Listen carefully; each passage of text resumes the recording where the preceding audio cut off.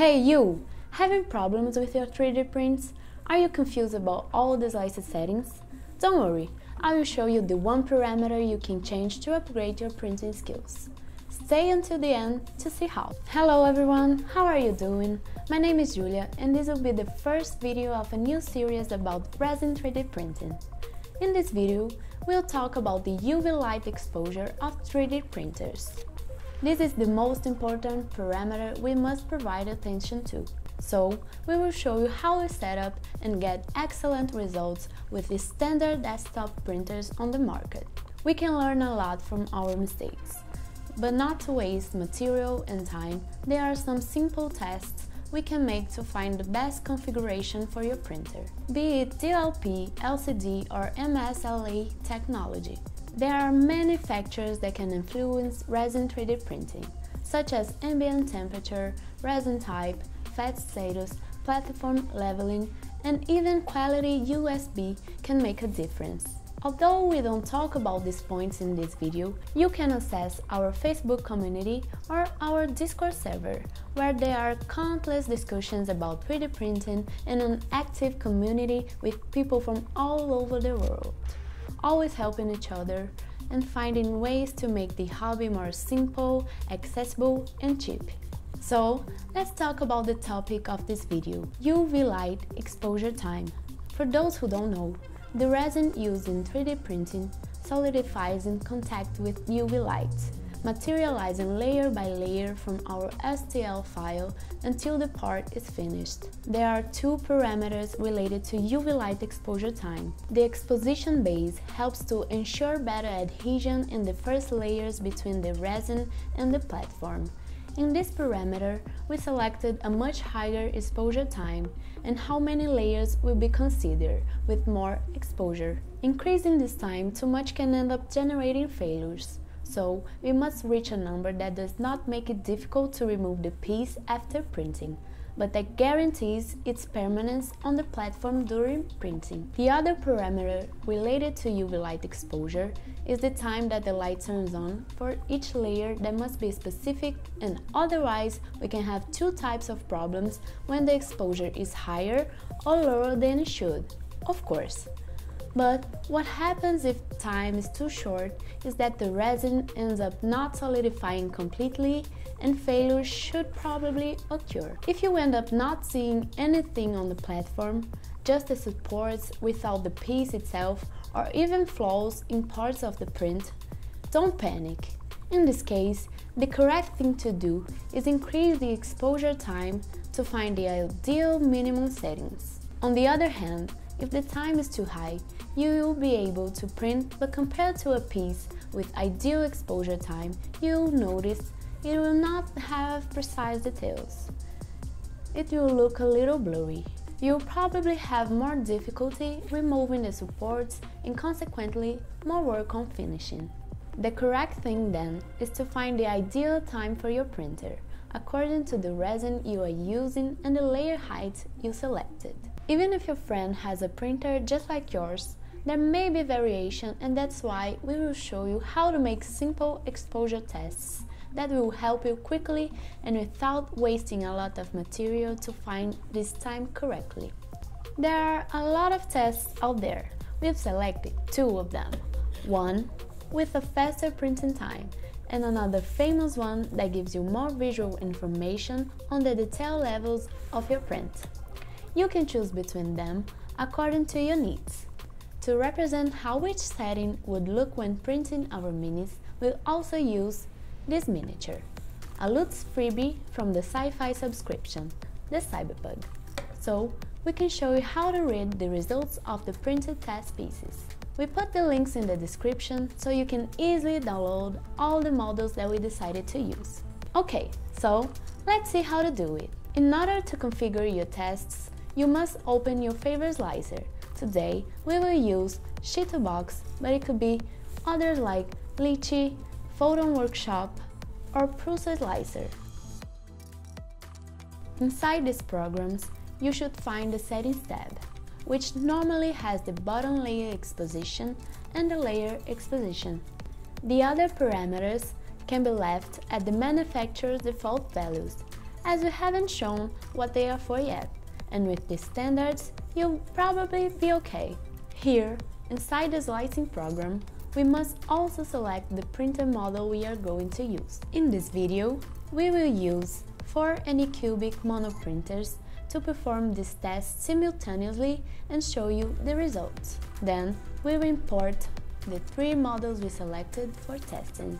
Here at Loot, we use a layer height of 0.05 mm or 50 microns as standard which guarantees excellent quality to the naked eye. We will talk more about this parameter and its possibilities in another video, but we must remember that the UV light exposure time we are setting is related to the layer height used.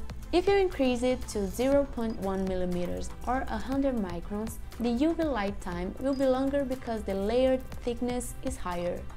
If you decrease it to 0.03 mm or 30 microns, for example, the time should be shorter because the layer is thinner and demands less light to solidify. The base exposure time can vary a lot from printer to printer, but on average it's between 20 and 80 seconds. Of course, this parameter requires tests to check if after printing it's easy enough to remove the part from the build plate with a spatula. On these Anycubic printers, we use 55 seconds. But if the piece is peeling from the platform, even though you know the platform leveling is correct, you can increase the base exposure time. If after printing you find it too hard to remove, you can decrease it by 5 seconds until you get a satisfying removing process. We must also select how many layers we want to have with this long exposure, which on average is between 2 to 6 layers. In the slicer, we have the main parameter, the UV light exposure time. To start, you can use times provided by the resin manufacturers. Mono printers have a shorter time, but if you have an RGB printer, each layer can take much longer. In order not to get too frustrated with failures and have parts stuck in a FEP, you can start with time considerably longer and go down according to your tests. To show you the difference between the tests, we did it with four different exposure times on our printers 0.5 seconds, 1, 2 and 3 seconds. But we already know that our ideal time is 1 second. So we have one test with lower exposure, two tests with higher exposure and one with the ideal time that will serve as a comparison between them. After printing, we have to clean it with alcohol to remove the liquid resin that remains on the printed pieces. Let the alcohol evaporate and only then we will be able to see all the details of the pieces. In these tests, they are more visual, we don't need to do the final cure to read the results.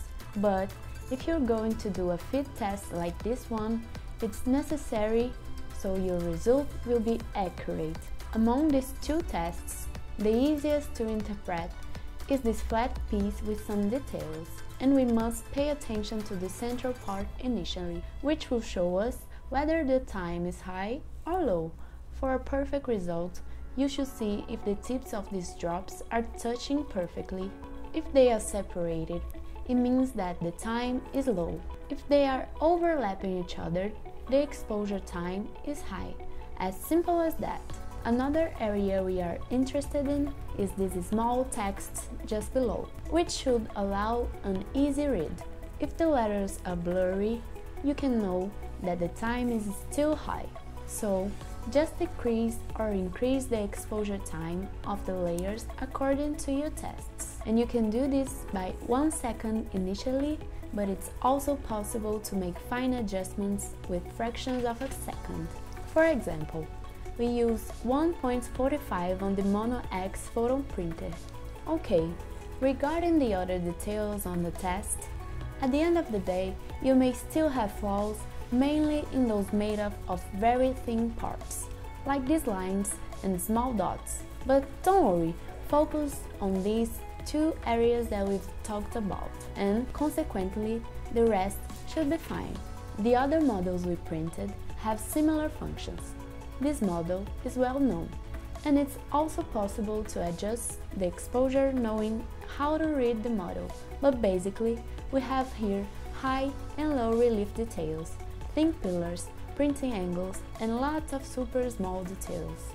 But the result we should get is a piece with a higher sharpness and flawless, which will ensure that your final pieces come out with the highest quality possible. Well, now that we know how to read these parameters, let's see how the Cyberpug, a very small miniature, looks like in each test and what the difference we can see. The first test just failed. This is the one with 0.5 seconds of exposure time. It's clear that the time was low because just the base layers was printed. Look at this. The one with 1 second will be a perfect print. Now, comparing it to the 0.5 seconds, you can see how it had to look like. Now, comparing with the 3 seconds test, you can see that most of the supports were very thick and some even joined between them and with the model, which would make a nightmare to finish. You might think the problem is just with how the supports were made, but the details are also blurred due to high exposure. This also happens with the 2 seconds test, but it's hard to identify. In this case, we can even think that we printed a piece with good quality, but what we should find is the shorter exposure time to UV light without generating failures. In the 75mm piece, we can see the same difference between blurry details and thicker supports and although it's easier to remove them, they leave more marks on the surface. When you find the ideal setup and take off the supports, it should be an easy, super satisfying experience. Just like this. So, what do you think? Was it possible to understand how to configure your 3D printer according to your resin and layer height? We make all of our models manually pre-supported, testing the supports, printing all the parts until it's perfect, so that you have a better experience. But there are still several factors that can influence the success or failure of your piece. And that's why we want to know what are the main subjects you want to see in this 3D printing video series? Leave a comment below. Oh, and if you click on the like button, it will give us information so we can know if this kind of content help you or not. Of course, if you are not subscribed, take the time to check our channel. We made a lot of videos, from painting tutorials and 3D modeling time lapses to this kind of content you've just watched, aimed at this universe of 3D printing and tabletop games. Also, stay tuned so you don't miss the next video. We will pass through a new parameter, this time showing the difference between layer heights. I'll be waiting for you in the next video. Bye bye!